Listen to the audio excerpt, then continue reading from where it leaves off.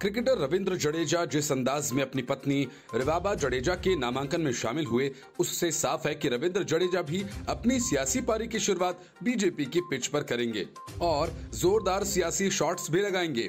रिवाबा के लिए चुनाव प्रचार करना एक तरह से उनके लिए एक प्रैक्टिस मैच की तरह माना जा रहा है।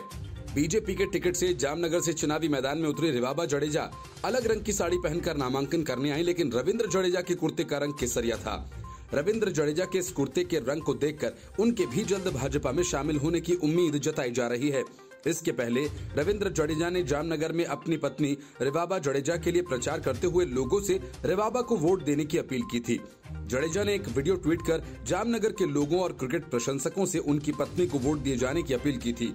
सत्तारूढ़ दल भाजपा ने जामनगर उत्तर से भारतीय क्रिकेटर और जामनगर के मूल निवासी रविंद्र जडेजा की पत्नी रिवाबा जडेजा को मैदान में उतारा है।